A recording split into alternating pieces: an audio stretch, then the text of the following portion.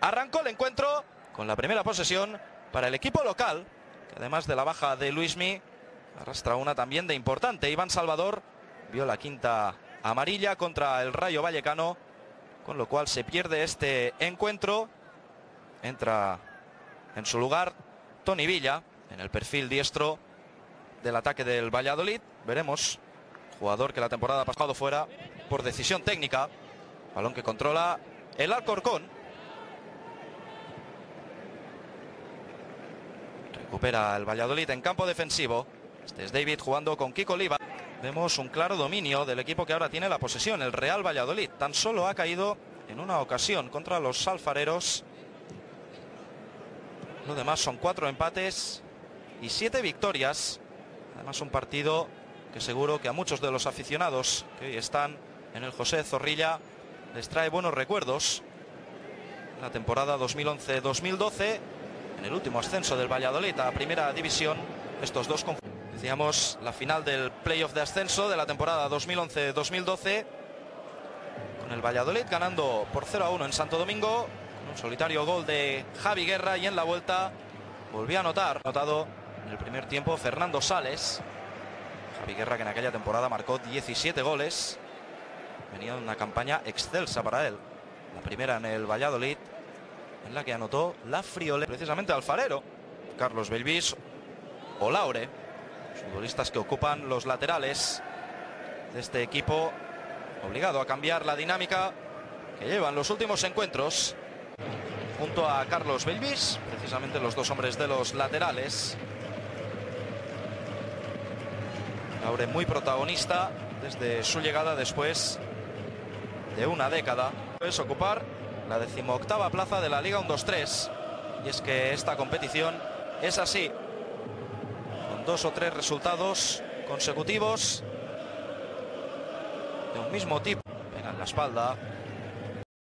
El lateral del Valladolid, todavía colocado fase ofensiva. No es esférico y lo consiguió nuevamente. Tony Villa. Fernández abriendo para Antoñito. Tenemos lateral de Herrera, cayó al suelo. El árbitro que siguiese el juego. Borja Fernández buscando a Jaime Mata. Deshacerse.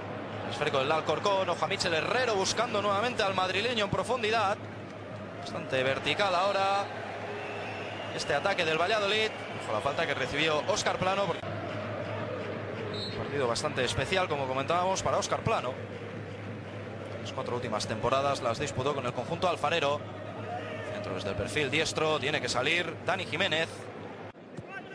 En la campaña 2016-2017 y en las dos anteriores, cuando militaba en el Leganés. Este es Borja Fernández. Abriendo para David, recibiendo que había sido titular en las ocho jornadas previas. Intentando buscar soluciones a la mala racha que atraviesa su equipo. Antoñito. Echado a la línea de cal, jugando con Anuar. Este es Kiko Olivas, supera muy bien la presión. Combina con Borja Fernández, siempre anclado entre los centrales. Car, la maquinaria del Valladolid, la tiene Anuar. Tenemos un centrocampista que ya debutó esta categoría la temporada 2015. Fue expulsado cuando ya estaba en el banquillo por dirigirse en términos ofensivos colegiado del encuentro. Con lo cual, sanción de cuatro partidos. Centro desde el perfil diestro. Ojo, porque la intentaba cazar nuevamente Mata. Todavía en zona de tres cuartos. Tiene que despejar ahora Esteban Burgos. Argentino recuperando hoy. Adelantando sus líneas ahora. Conjunto visitante. Protege el esférico Carlos Belvis. Jugando atrás. Agrupación Deportiva Alcorcón. Fernández. Granísimo futbolista. Tres etapas distintas ha estado en el Valladolid. Una de ellas en primera división. Que Albert Dorca ayude en el centro. A Dani Toribio. Fase defensiva. El esquema de Julio Velázquez. Se convierte en un 5-4-1. Este es Anuar bajando a recibir. A campo propio.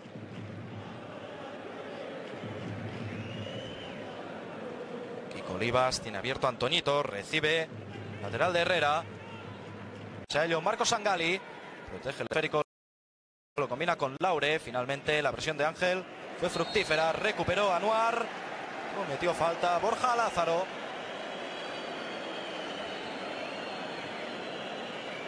Los primeros minutos del centrocampista de Ceuta.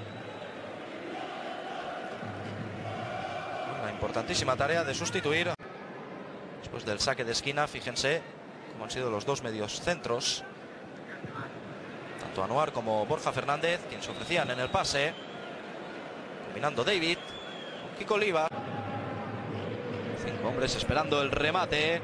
Balón largo al segundo palo. Porque intentaba pescarlo Álvaro Jiménez. Tuvo que llegar Anuar. Para mandar ese... Complicaciones ahora. Para salir con el esférico jugado. El Real Valladolid. Vuelve a recuperar el conjunto alfarero buscando a Marco Sangali. Me mata para descargar el juego de su equipo. Michel Herrero combina con Anuar. Cambio de juego a la derecha para Antoñito. En la espera Borja Fernández. Balón atrás para Kiko. Laure Sanabria. Esperaba Esteban Burgos. Aunque ahora intentaba recuperar a Anuar. Lo hizo con falta sobre Dani Toribio. Y va a disponer nuevamente la agrupación deportiva Alcorcón. Charla para los estudiantes. Este curso de nivel avanzado. La que ponía a su servicio su experiencia de 17 años. Con Kiko Olivas. La ayuda tanto de Anuar como de Borja Fernández permite que hombres como Ángel y como Antoñito, con vocación ofensiva, van a adelantar mucho. sus- Precisamente Ángel, recortando a Marco Sangali, jugando con Anuar. Espera a Tony Villa. Cambiando el juego hacia atrás para Kiko Olivas. A la derecha tiene a Antoñito, se ofrece Tony Villa entre líneas. Ahora de Michel Herrero, recupera Esteban Burgos, jugando con Álvaro Jiménez. Buena recuperación de Antoñito. Moviendo a Anuar con Borja Fernández, abriendo para Ángel. Tiene Óscar Plano. Más adelante pidiéndola al madrileño. Los primeros 10 minutos de partido. En Santo Domingo se adelantó el Alcorcón. con El gol de David Navarro. Y nuevamente un doblete, en este caso de Juan Villar, fue el que le dio el triunfo al conjunto entonces entrenado por Paco. Atrás para Ángel. Ese balón de encima. Entre la presión del Alcorcón. Bien colocado ahora en campo. Rival. Puede iniciar la contra el Valladolid. Balón profundo para Óscar Plano. Es muy rápido Óscar Plano. Buscando ya levantar la cabeza para... Se atrevió con los pies para despejar ese esférico. Se plantaba frente a él Óscar Plano. Combinan los locales. Kiko Olivas jugando con... Espera entre líneas Michel Herrero. Se interpone en esa acción. Ahora porque la tiene Anuar en la frontal. El disparo de Anuar acaba pegando en Jaime Mata. Vuelve a intentarlo. El centrocampista. El esférico se estrella una y otra vez. Todavía se tocaba un poquito el rostro David. Parece que se puede recuperar. Borja Fernández. David mandándola en largo. Pudo cabeza de superar en primera ronda al Huesca. Y a la cultural y deportiva leonesa. Además viendo portería hombres no habituales en liga como Asier Villaleo. Controla en la zona defensiva David. Se ofrece a Anuar. Recibe el 35. Ganando con Olivas. Espera Antoñito. También Michel Herrero. Y está el valenciano. Arriba. Puede pinchar ese balón. Esteban Burgos. Recupera atención el Valladolid porque puede armar la contra. La conduce Anuar. Pasa en profundidad para Tony Villa. Se le va a escapar ese esférico al extremo. Salió cercano al área. La espera Antoñito. Balón interior para Real Valladolid. Hay 9.402 espectadores. Cercano a los 10.000. Hoy la presencia. Mientras el 6 del Valladolid esté sancionado. Tras la expulsión del fin de semana contra el Rayo Vallecano. Ahí tenemos a Anuar progresando hacia adelante. Sacó la falta. Buena conducción ahora del 35. Acabó sacando un balón parado. Posición con Michel Herrero. Ahora presionando en punta, precisamente el hombre que tocó ese balón. Intenta controlarlo. Anuar. Estamos viendo muchas muestras de calidad. Anuar, pese a que ahora ha cometido una dura falta sobre Sangali.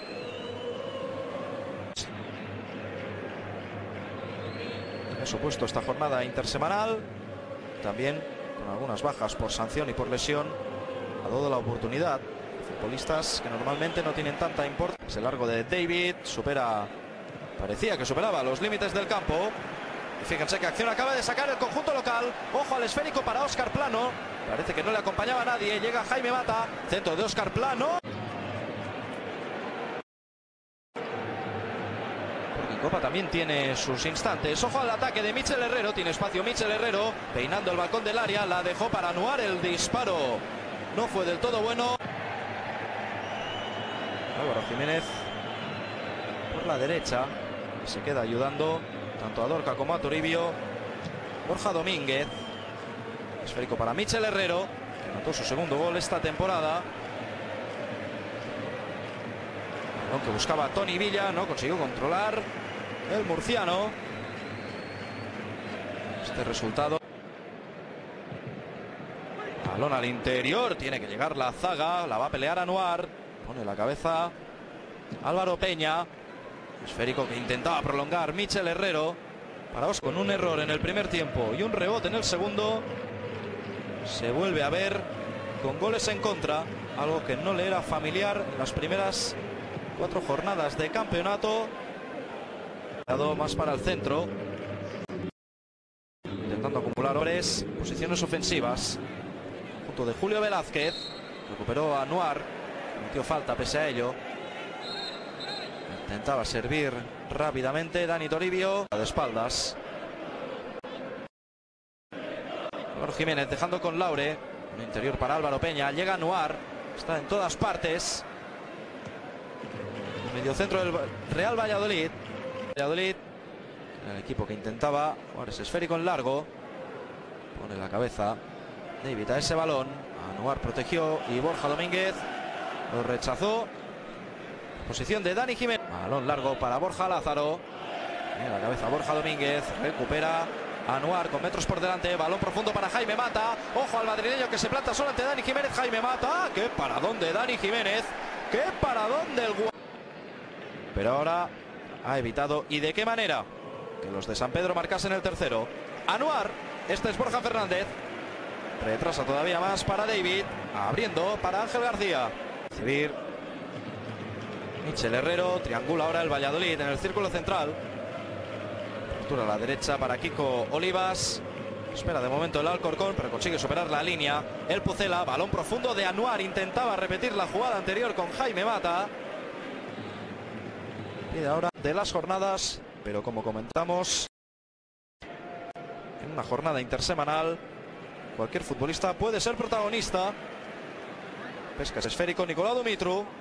Intenta seguir hacia adelante. Le espera Carlos Belvis. Le da la vuelta a Dumitru. Combinando ahora con el lateral. Recibió la presión de Anuar.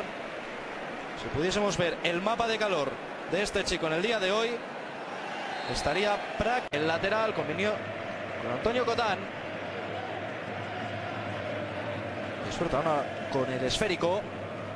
Rafa Domínguez y Anuar. David se la devuelve al 35. Avanza Anuar. Busca en profundidad la presencia de Antoñito. Prácticamente con vocación de extremo. El ex del Córdoba. Hasta la línea de fondo. Pase atrás para el control de Álvaro Jiménez. Le presiona Ángel. Sigue hacia adelante. El ex del Elche. Interponerse ahí. Borja Domínguez. Y está el 7 la vuelta, intenta el disparo desde ahí, se marcha afuera. Valladolid, la tiene Ángel. Jugando con Anuar, espera ese esférico. Ojo, porque se puede equivocar en el control. Pese a ello, recupera la posición. Vuelve a combinar con Pablo Hervías. Ahora pausando un poco el juego el riojano. Esférico para Anuar. La tiene Borja Domínguez. Le presionaba su tocayo. Ahí está Ángel. Es el conjunto blanquivioleta. Sí, están pensando. El de siempre, Jaime Mata. Apertura de Anuar. Antoñito. Tiene a Pablo Hervías, la pide nuevamente el lateral, sigue hacia adelante Pablo Hervías buscando la rechazando el esférico, lo controla Álvaro Peña, presiona Anuar, viendo de la camiseta, comete falta finalmente el 35 sobre Álvaro Peña, ahí tenemos el último cambio de Luis César, partido en el que además Gian Niotas vio portería, como lo hiciera también en la jornada 5, campeonato liguero contra el Granabre. Como ven, futbolistas en liga son habituales de refresco o que les cuesta un poco más tener minutos en este equipo. Pero como no, también ganando importancia, buscando el centro, caminando nuevamente con el ex del Sevilla Atlético.